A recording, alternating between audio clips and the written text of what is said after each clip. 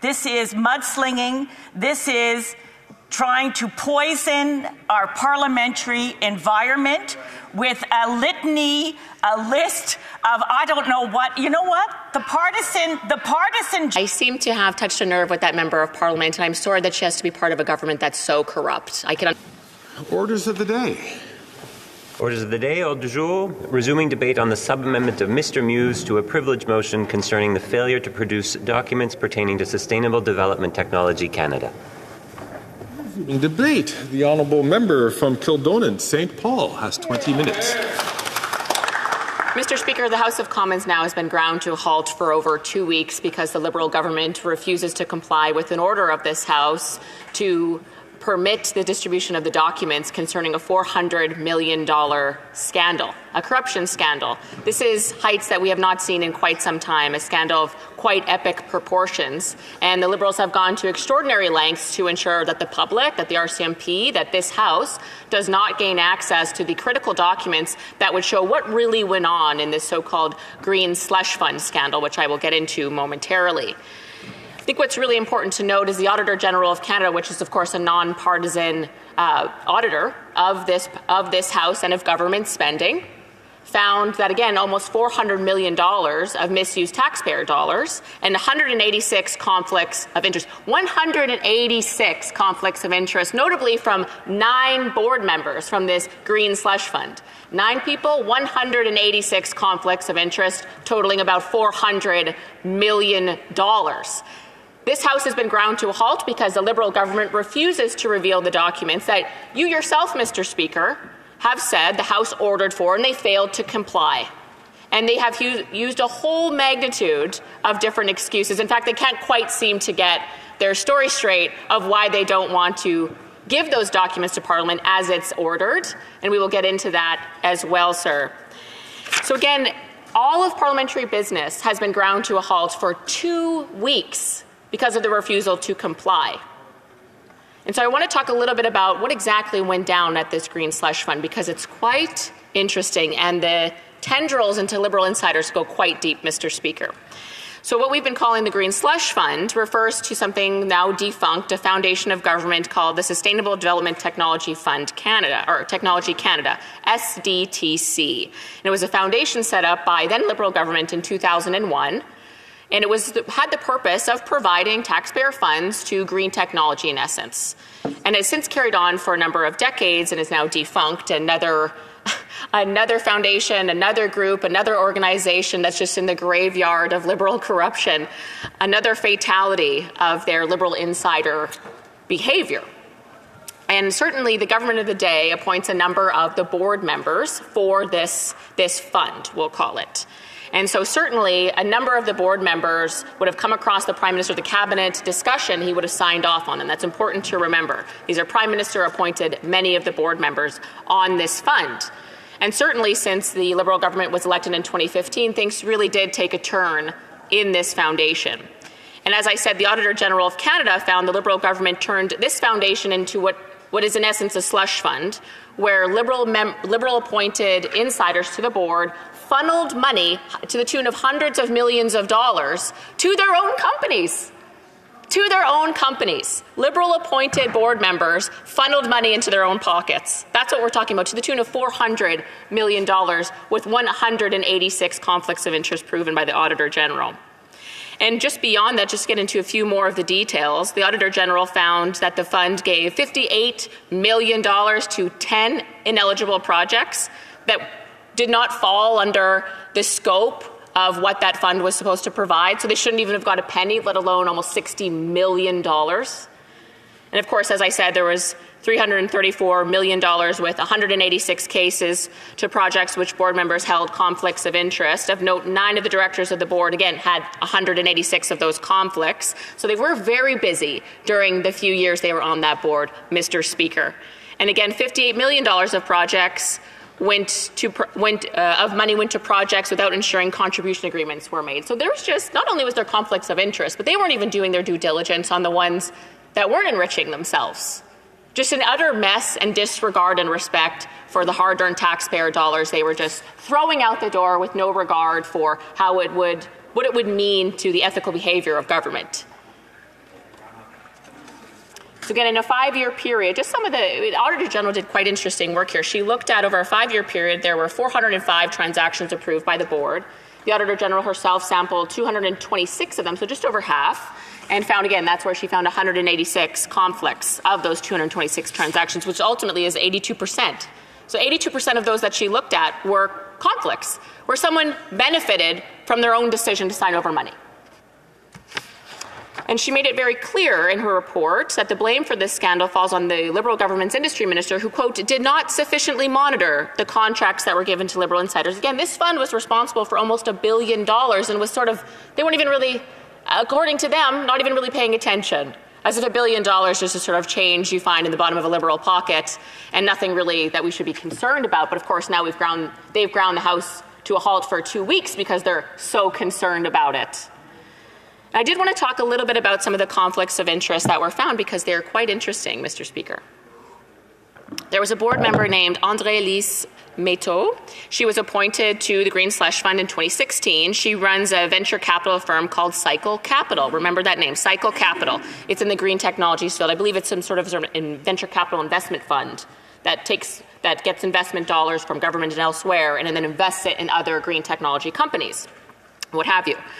And before and during her time, Ms. Méthot's time on the board, her company received a quarter of a billion dollars in grants from the Green Slush Fund. Quarter of a billion dollars to Cycle Capital. Some of that was before, again, that she was on the board.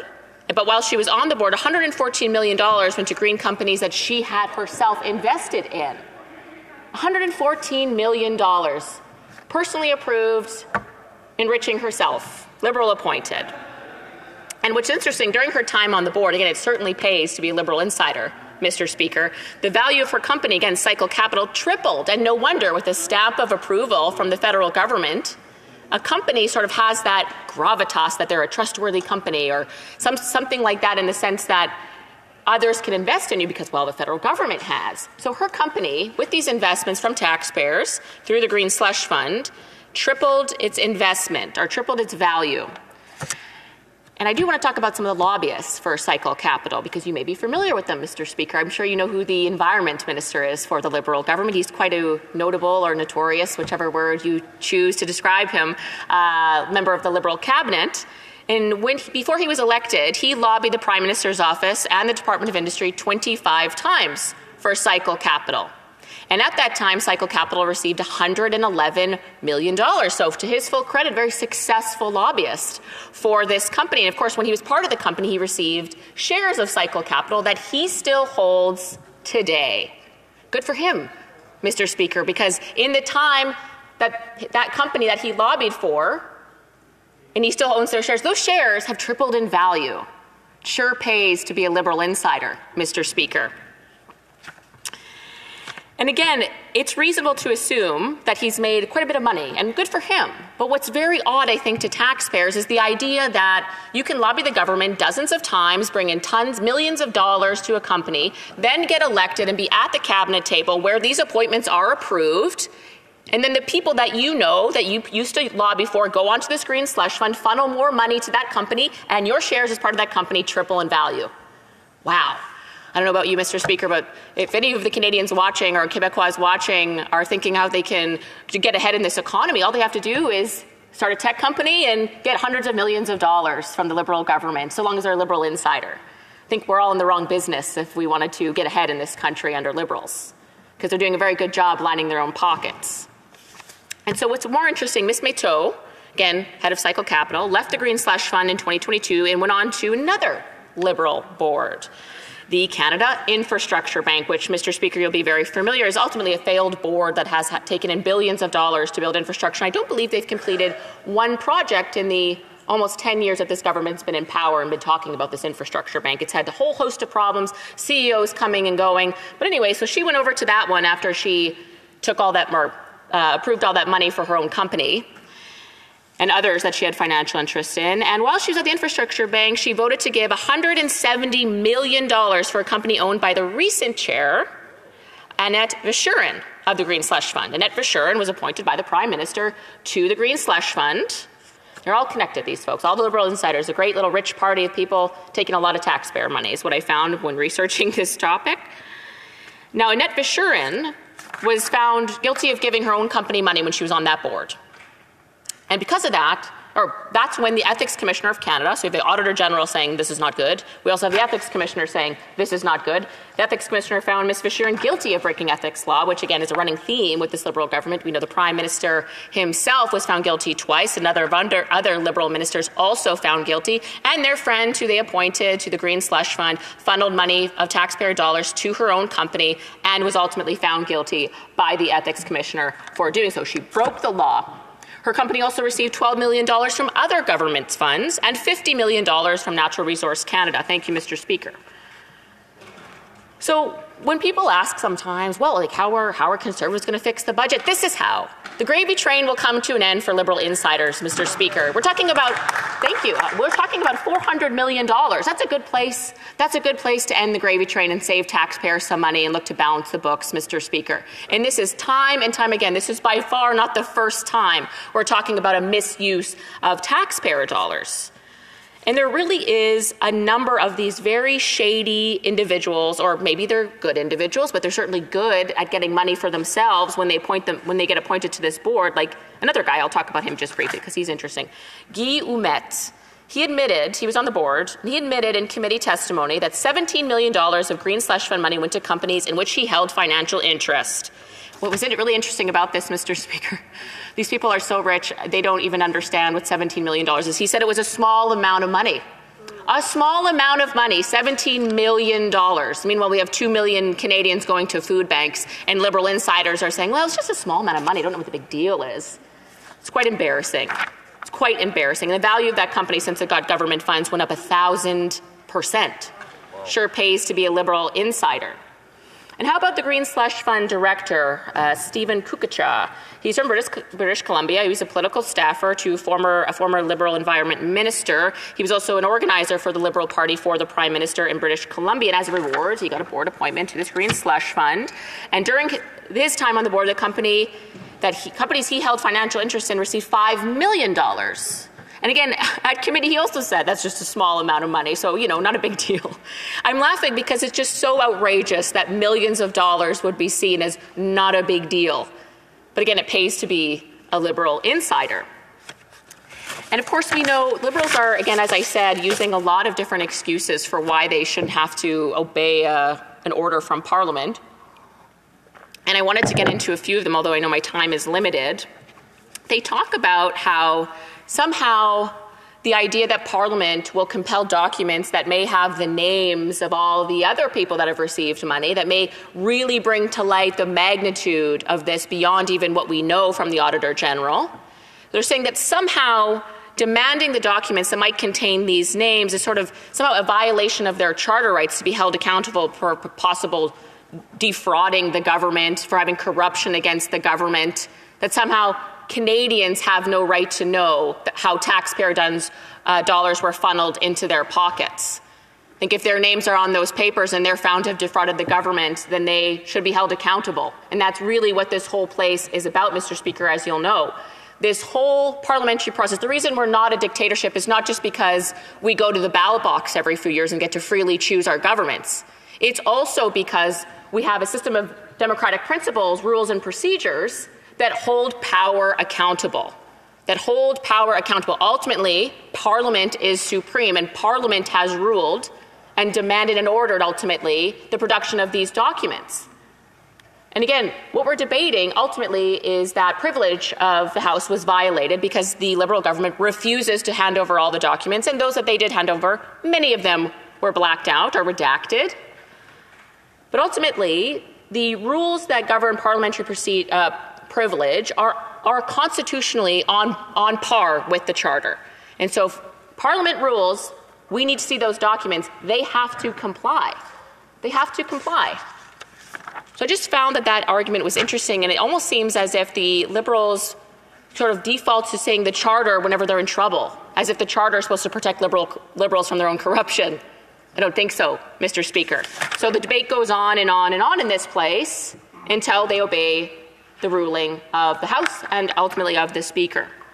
I think Andrew Coyne actually said this really well today in the Globe and Mail. He said, quote, the right of Parliament to send for, quote, papers, persons, papers, and things, quote, is on is one of the most ancient parliamentary privileges. It is crucial to the Commons' ability to act as a check on the executive. Again, this whole thing, our whole, the, the thing that's keeping us from a dictatorship is the fact that we have checks and balances on power. So I would ask that the Liberals be reminded of that that they have a responsibility, a constitutional responsibility to the checks on power that we apply to them. That's the reason we're all here. If we can't, if they can't, if they don't have to obey by an order of parliament, we might as well all just pack up and go home and let the liberals just be a dictatorship and decide whatever they want. But the, the opposition parties in this House collectively are demanding these documents. They are in a minority government, so they have to comply. The Speaker has ruled this, Mr. Speaker. So I do find that argument just is actually quite a dangerous territory for them because what are they suggesting that Parliament we have no rights as parliamentarians? Again, what are we doing here then? So they go on and on. They're using tons of different excuses. One of the ones I found funny, actually, they're saying, well, this fund existed under Prime Minister, Conservative Prime Minister Stephen Harper. How could you be criticizing it? Well, what's interesting, the Auditor General herself actually looked at the Green Slush Fund back in 2017, before it was a slush fund, and gave it a clean bill of health. So under Harper, it was well managed. But as soon as Liberals started to appoint the board members, that's when it went downhill. That's when Annette Verschuren, Ms. Verschuren came into the picture and funneled money to herself and was found guilty of, the, of violating ethics law, a running theme. And I wanted to talk a little bit about how, just to conclude, how the Liberals really don't have a leg to stand on in this. If this was the first time, even I mean, even if it was the first time, it's out, uh, out uh, unbelievable that we're talking about $400 million and they somehow don't have to give up the documents that uh, Parliament has ordered. But it is not the first time. This is a running pattern in the last nine years. I'd like to talk about a few of those other instances. We'll remember, it was right when I was first elected, it was the We Charity scandal. Do you remember that, Mr. Speaker? It feels like a very long time ago. But that was a billion dollar scandal where Liberals looked to give a billion taxpayer dollars to this, what was found to be quite a slimy organization that prior to getting that billion dollars, they promoted the Liberals at length, particularly the Trudeau family. They paid them money for various appearances. And uh, the former finance minister, Bill Morneau, was given a free trip. I think his daughter received some sort of benefit. So, a very tight knit, very almost fangirl level organization to the Trudeau family was given a billion dollars. And of course, that got so heated that summer that did they not prorogue Parliament? They. Yeah, they prorogued Parliament just to avoid. So, hmm, maybe that's coming. Watch for that, Mr. Speaker. If they prorogue Parliament, then you know we almost got them on something of true corruption here because it happened back in 2020. And then the following summer, in 2021, we had the Winnipeg lab documents. For the first time in I think it was a century, there was an individual who came to the bar, was called to the bar because Liberals were so desperate to avoid revealing the Winnipeg lab documents. Again, there was the two, uh, two scientists from the Chinese Communist Party working in a Winnipeg lab, a high-ranking Winnipeg lab, looked to be taking very, very secret information from Canada were marched out of that building, and there were all these documents about it. They were so desperate to stop the public from finding out, they called a snap election, Mr. Speaker. So they don't have a leg to stand on when they say, well, we did nothing wrong, nothing to see here. Really, because we've seen this before. And in fact, I could probably go on another 20 minutes about all the ethics violations of this government. You, of course, remember Aga Khan's Billionaire Island. Our Prime Minister loves his tropical vacations. And certainly in December 2017, the Ethics Commissioner found he violated ethics laws by taking a very, very hoity toity fancy trip to a billionaire's tropical island with his, with his family and uh, certainly violated the rules of the law in that regard. And that was just the first time. The second time, You'll remember this as well at SNC Lavalin. It was quite the scandal. We'll remember the brave Jody Wilson-Raybould spoke out against what she saw, the corruption she saw going on with the Prime Minister. He was found guilty of breaking ethics law at that time, inappropriately pressuring the Attorney General. Very serious matter, Mr. Speaker. And in fact, the following the election that came a few months later was when he lost his majority and never recovered. So the public has been really starting to see what, what's going on here. And I just wanted to conclude on something. You know, we talk about 400 billion, 400 million, all these big numbers, but what does that really mean to an individual person? I can't even, I have a difficult time understanding even how much a billion dollars is. It's just such a shockingly high number. But if you look at it, the average Canadian family, or the average Canadian earns about $58,000 a year. Some more, some less, but the average is about 58,000. So if you have a two-parent household with two average incomes, that family pays on average about $18,000 of federal income tax. They work months out of the year away from their families. They have to deal with office politics, all kinds of things to go to work. We got to pay our bills and support the public services. So they pay about $18,000 in federal taxes. Do you know how many families had to work an entire year to pay federal income tax so that liberal insiders can enrich themselves with $390 million? 22,000 Canadian families had to work their butts off so liberals can line their own pockets, Mr. Speaker. It's unacceptable, and we're going to hold them accountable for it. Questions and comments? I recognize the honourable member for Chateauguay-Lacolle. Thank you, Mr. Speaker. To the, um, I guess you could call it a speech uh, from uh, the colleague uh, opposite. Uh, and uh, for those in the gallery, uh, please be aware of what's going on here. This is mudslinging. This is trying to poison our parliamentary environment with a litany, a list of I don't know what. You know what? The partisan, the partisan jabs. Okay, we can take it. But when a member of this House goes after institutions like the Auditor General, like the RCMP Federal Investigative Forces, then that is beyond the pale. When they go after individuals, so by the way, uh, you know, because it's not something that I do, and I really feel sorry for the member that it, she seems to be a talented uh, person, that she's reduced to that. Uh, someone like Annette uh, Verschuren uh, was actually a former advisor to Stephen Harper uh, and I believe to Jim Flaherty. Je m'excuse auprès de l'honorable député. I apologize to the honourable member. The honourable member for Kildonan and St. Paul. And I would remind colleagues to ask questions no longer than one minute. Mr. Speaker, are you calling on me? Mr. Clear, I think he is. Okay. Thank you, Mr. Speaker. I, I seem to have touched a nerve with that member of parliament, and I'm sorry that she has to be part of a government that's so corrupt. I can understand why that's so upsetting. Faced with the facts, it is, it is hard to face to have any association with this Liberal government. I understand her angst.